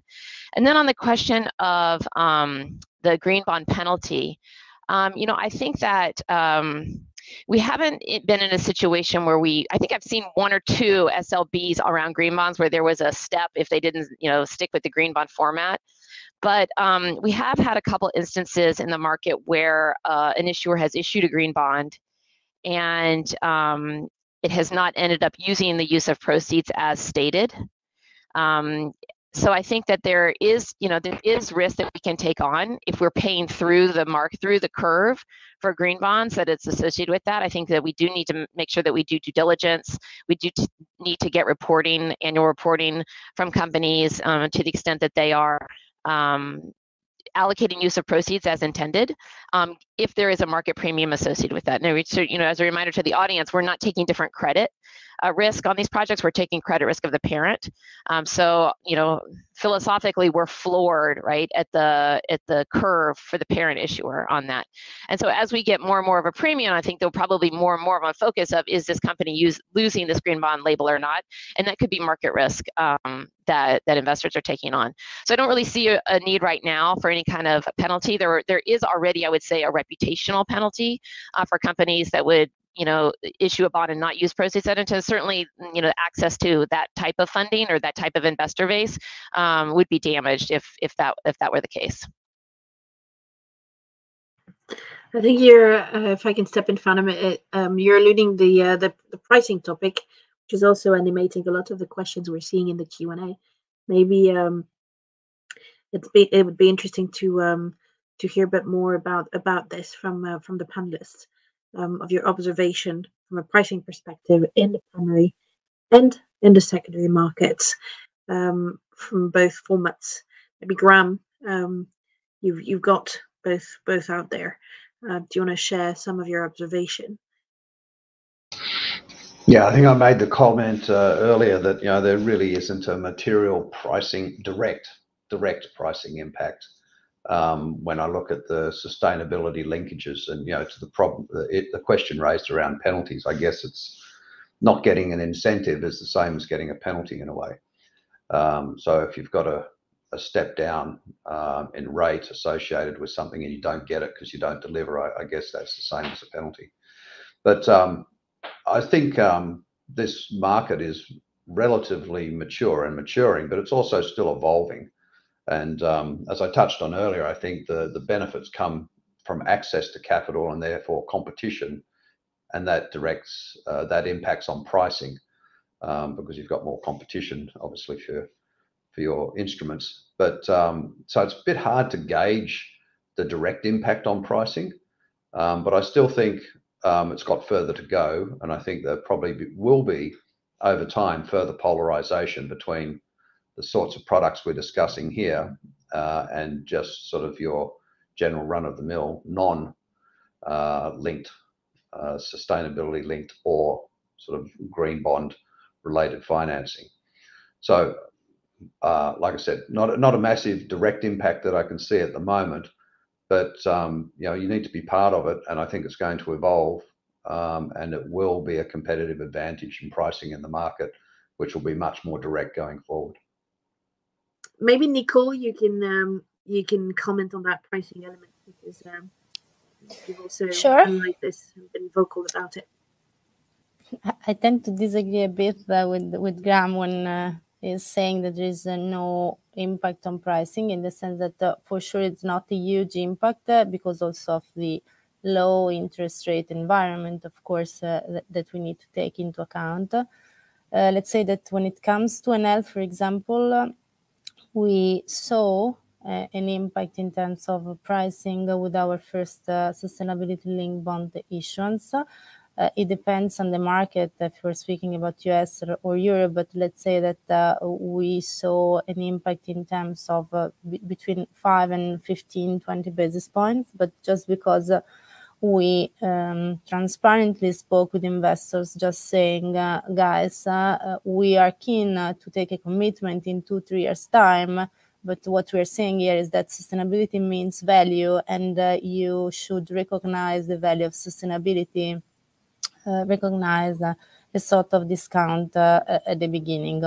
Of course, when you go forward and uh, you build your secondary curve, it's not anymore. there is not anymore this this impact, but just because you are using your secondary curve to build the pricing uh, uh, ahead.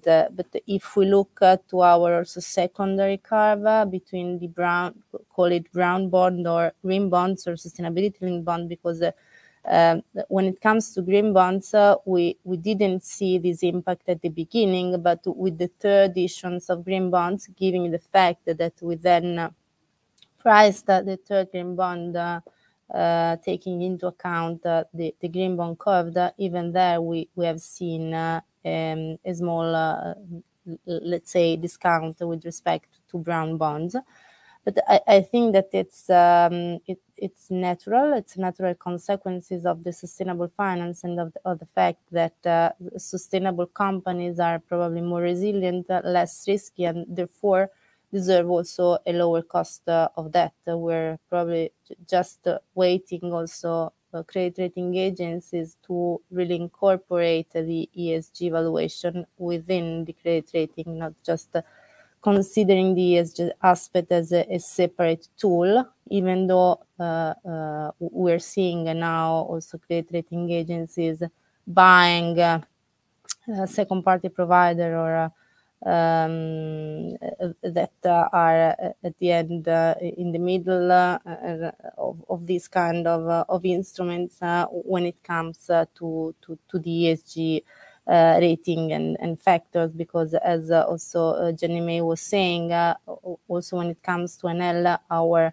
sustainability linked financing framework has a second party um, opinion provider and all our KPIs have a certification uh, both uh, when it comes to the shorter term KPI and uh, longer longer term KPI, and we're speaking about uh, our auditors when it comes to renewable installed capacity or DNV, but also we're also speaking about uh, SBTI when it comes to the CO2 reduction, our CO2 path uh, given the fact that, that uh, um, we uh, have to demonstrate that we are following the Paris alignment. and when it comes to, let's say, um, KPIs, and uh, it, it's uh, it's true what what Katish was saying. Of course, we do have multiple SLB now on the market uh, and we updated our KPIs uh, following our uh, at the end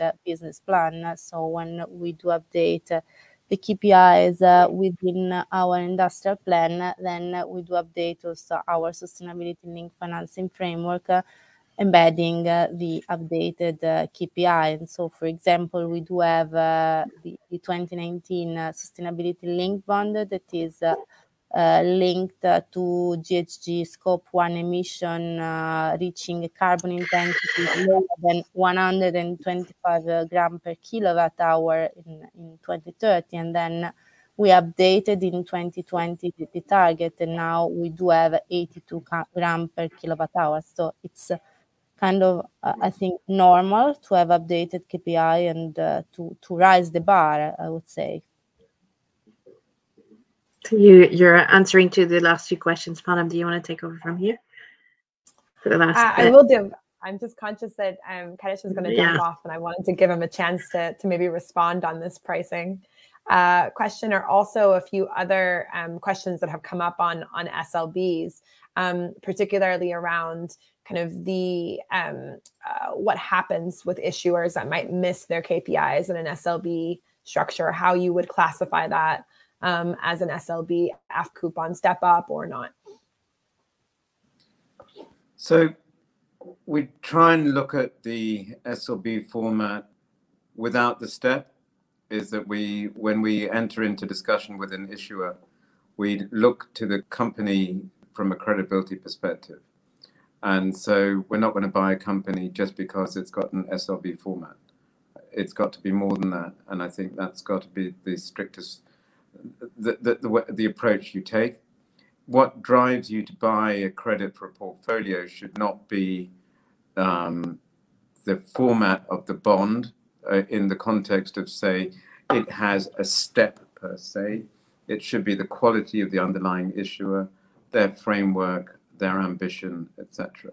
Um, so, you know, without sounding really pedantic, that's it's sort of going back over the, what I've said before. Um, and with regard to, say, advantageous pricing or not, again, you need to buy bonds in the context of the value versus the secondary market versus the potential compression for the spread um, of what is the um, spread versus its rating, what's the trajectory of that company's um, uh, credit rating likely to be, are you being compensated from the spread terms, and then you know if it has a label, and Ashley will probably laugh when I say this, but the label doesn't confer virtue. Um, therefore, it, th- th- that spread will be determined by the market. Thank you, Katish. I think um, in the Q&A, you could probably answer actually. Um, should passive ETF be a more prominent instrument to accelerate change towards sustainable finance? Um, maybe Ashley, you could share your experience on that. Um, yeah, I mean, I think that, you know, there are some questions here that are not necessarily just around ESG and sustainability. There are themes that are going on in markets. And I think that, you know, um, the popularity of the ETF structure is, I think, something that's resonating with investors. Um, I think low cost passive is something that's uh, building blocks is something that's resonating with investors.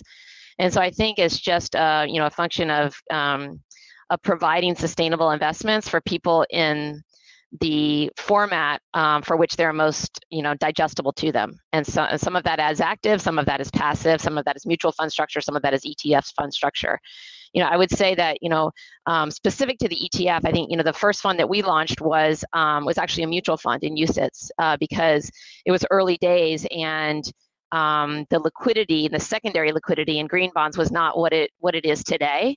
And so, and to the extent that the ETF offers you a lot of liquidity, um, we were, I think, a little bit nervous that um, that we didn't want to provide that liquidity too early in a market that was was was having wider bid offer spreads in secondary. I think that has changed, and you see us in the market launching ETFs that are green bond ETFs. We have one in in the U.S. We have one in, in Europe now. So I think that's just a reflection of the types of secondary turnover that we're starting to see as the market grows and we get more issuers in the space. Um, just to come back on one of the comments uh, that was mentioned about pricing, I think this is a really interesting topic because we do have some um, some data points now that we can really point to when we've had big sovereigns come to market versus very well established pricing curves to see precisely was it that it was a Tuesday at 11 was it that rates were low? Where is it you know there was a covid flare? Like what caused the pricing difference in this? And so now when we think about UK debt German debt et cetera pricing off those curves we can really isolate what was the quote unquote greenium. And I think on those bonds you see anything from 4 to 6 to 8 basis points greenium um, at any given time. And so um, some of this is being captured in the new issue market, as you guys you know are well aware, and some of it happens in the secondary market. And so I think why this is so interesting is because we really get back to the point of what is the whole point of this exercise, right? Why are we creating all these green bonds? You know, and there have been critiques leveled where the company's doing this anyways, and you know what is the form? The idea is that if you can create a price incentive for companies to change their capital allocation, they'll probably do so. And so, how do we think about the cost of capitals within companies and incentivizing more green spend? And thinking about this asset class we've developed, which is very clean and has guidelines around it and universal standards, encouraged by some sort of regulatory support, right? So, where are we going with these country labels? And if we can think about it in something that there is a price benefit, and I do think investors are willing to pay for good green bonds. Um, I think we are testing what that limit is, and we'll continue to test that.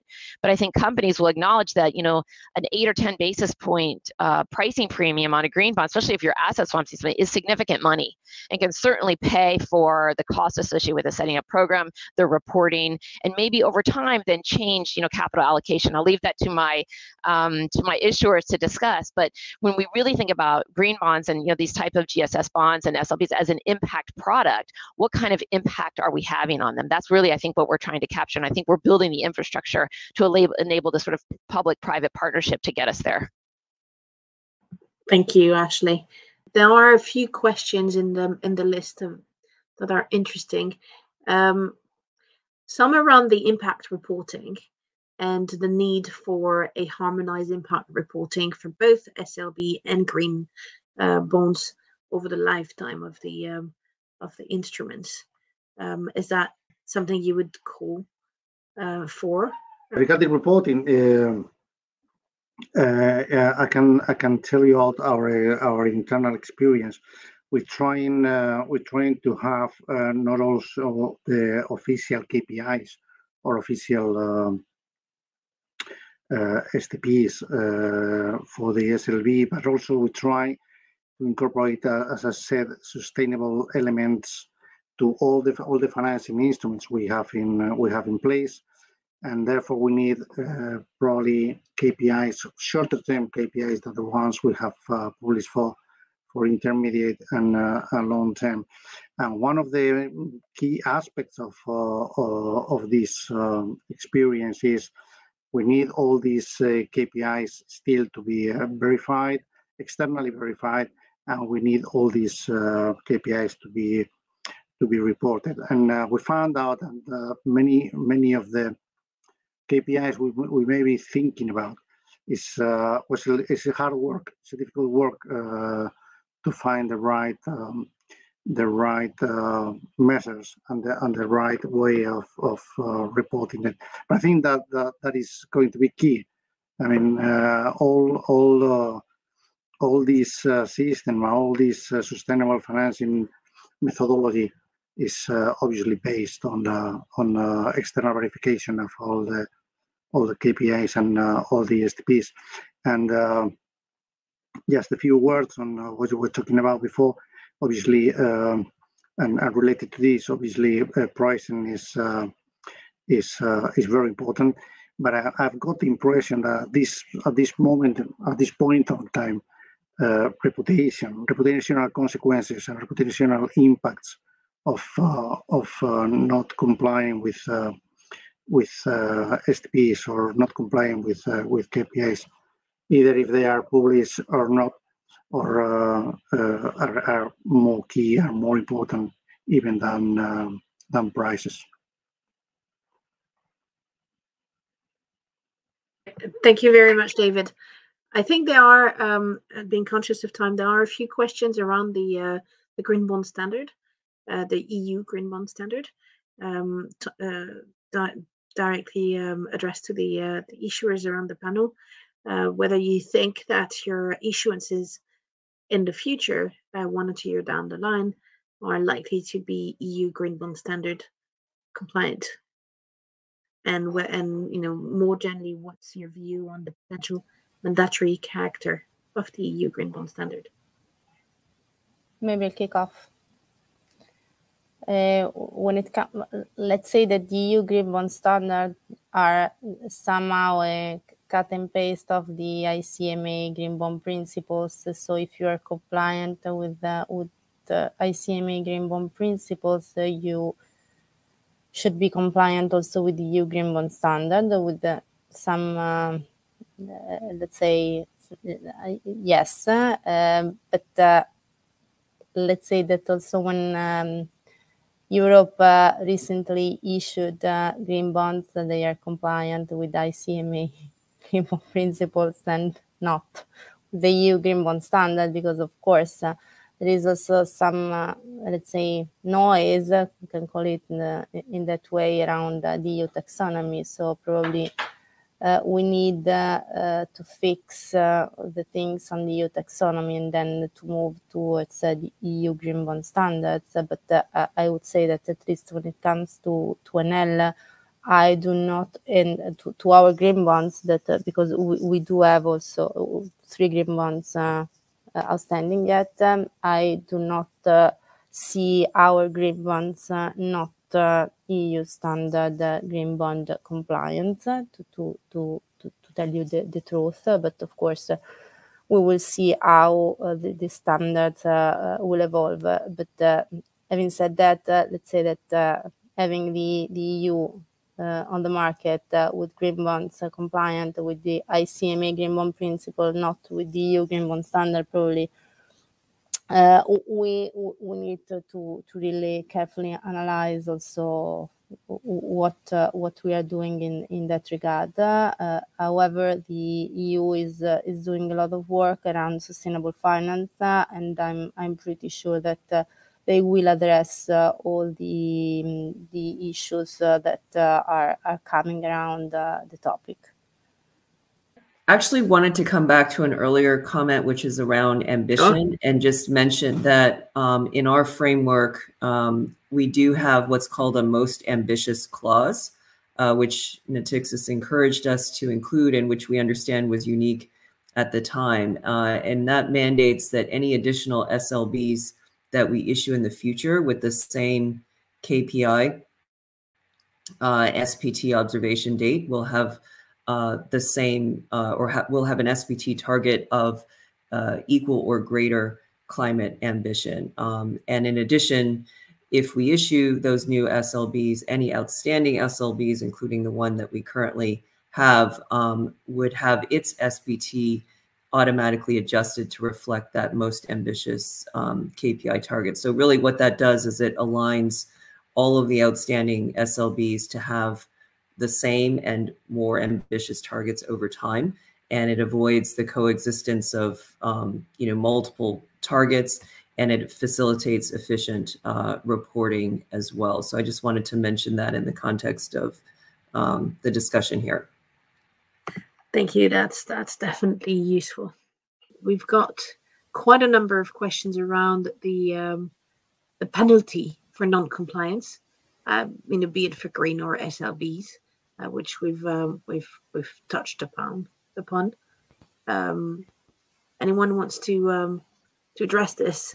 Um, for example, we're talking. You know, we're being asked about um, the penalty going to investors, as opposed to uh, um, to sustainability causes or or let's say uh, Im- impact related investments, uh, impact providing investments.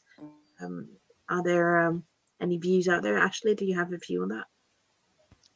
Um, I, you know, I think that's been a, a, conversation that's been debated about having maybe a coupon payment to like an NGO or a charity. I think, you know, it gets a little bit blurry in terms of what is philanthropy and what is investing when you kind of mix those two things together. Um, you know, again, I think the maybe we get to a place where the coupon steps are, you know, more than a, a handful of basis points and they actually become something that um, and then the ambition the targets become really ambitious. And then maybe you could see something where there was some optionality in that risk that the investor was taking, maybe they pay up for that SLB with that option that they have for that step. I don't think currently there's any option out, any priceable optionality in that market.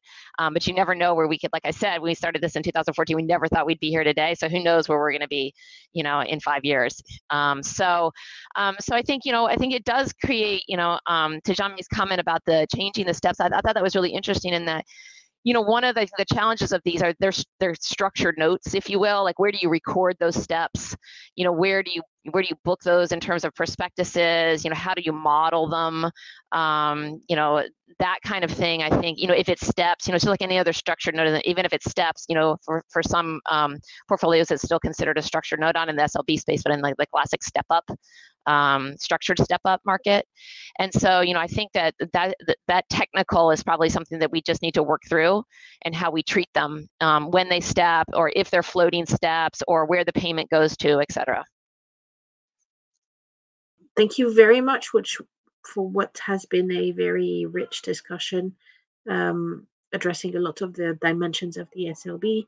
Um, it's the beginning of that um, of that product for sure, and um, and I think the SLBP uh, working group is a uh, is a is a good witness of uh, the remaining opening open questions um, uh, on on the on the, on the, this market and its dev development. Uh, but um, thank you very much for sharing your views today. Good afternoon. It is an enormous pleasure to be delivering the closing remarks at ICMA's conference on the role of sustainable bonds in financing the transition to net zero. And I would like to take this opportunity to thank ICMA for inviting me to this landmark event. An event which is, of course, taking place only a short time after the closing of the COP26 summit in Glasgow. This summit dominated not only the sustainability agenda, but also the wider geopolitical agenda globally. And I think it's fair to say that one important outcome of the summit was a focus on the critical role which finance must play in the transition to net zero. So this seminar today is taking place at a very opportune moment. We've just heard this afternoon from a number of leading international issuers and investors about their own sustainability plans. And given the overall growth in the sustainable bond market, as well as the fact that the UK government launched its debut sovereign green bond, or green gilt in our terminology, just this past September. This was a 12 year maturity bond, swiftly followed by a 32 year bond only a few weeks later in October. So it might be timely to share a few reflections on these transactions. For the UK government and for us at the UK DMO, the inception of our green financing programme without doubt represents a significant milestone. Certainly a milestone for the UK as it looks to position itself as a leading green finance hub, but also arguably for the ESG market more generally. The UK government's green gilt issuance, and indeed the government's overall green financing programme, clearly supports the UK's ambitious environmental and climate goals. The September issue broke a few records in the sovereign green bond market. Records in terms of size, level of investor demand, and so on. And the October 32 year issue also broke a different record as the longest maturity sovereign green bond to have been issued. And these transactions, governed by a framework document which was fully aligned with the 2021 Green Bond Principles published by ICMA, as well as mapped to the UN Sustainable Development Goals, they introduced some innovations into the sovereign green bond market, which might be worth highlighting. So first, the UK government has committed to report on the social co-benefits in addition to the environmental impact of funds raised under its green financing programme. Examples include job creation, access to affordable infrastructure, and socio-economic advancement. This commitment is something which initially came out of our valuable stakeholder discussion forum, of which ICMA is a member, and which has been warmly welcomed by the market. It also, of course, coincides with the very dramatic growth in the social bond market in the past couple of years. Another innovation was our inclusion of biodiversity as one of the expenditure categories in our framework. And a further innovation was the publication of a pre-issuance impact assessment alongside the second party opinion. This impact assessment, together with our other documents relating to our green financing programme, is available on the UK DMO's website and it assesses the alignment of the framework with the government's overall environmental strategy. And a further really important step, which the UK government has taken, has been to launch a green retail product, retail green savings bonds, governed by the same green financing framework as the green gilts. These retail bonds are being offered through our sister institution, National Savings and Investments, which is, like the UK DMO, an agency of Her Majesty's Treasury, one that provides households with an opportunity to buy various government-backed savings products. And these retail green savings bonds are giving households the opportunity to invest in the government's environmental agenda. There are many more things I could say about this initiative, particularly about the debt management considerations, which we needed to take into account. But one key point to highlight is that it was important for us from the start to ensure that green gilts raise financing for green projects in as smooth and cost effective a way as possible, and also in a way which is fully in line with the government's debt management objective, namely to minimize cost over the long term, subject to risk. And in order to achieve this, we've considered the Green Gilt Programme holistically in the context of our overall debt financing programme, and in particular with a focus on integrating green gilt issuance into the wider gilt programme. We've done this in various ways, but largely through utilising the same structure and the same process as our standard gilts, which remain one of the deepest and most liquid asset classes in the world. I think the reception to these offerings demonstrated very visibly the enthusiasm of sterling bond market participants for green assets, as well as the growing maturity of the global sovereign green bond market. As we saw very broad, diverse, and extremely high quality investor support for both these transactions. So, in conclusion, we're currently only at the beginning of the UK's green financing journey. And ultimately, the size of the programme going forward will be determined by the green projects, the assets underlying the issuance. But these first steps are very important ones, not only for the sterling bond market, but also, I think it's fair to say, for the global ESG market more broadly. So with that, I would like to thank ICMA once again for organising this valuable and timely conference. And I would like to thank you all for your participation today. Thank you.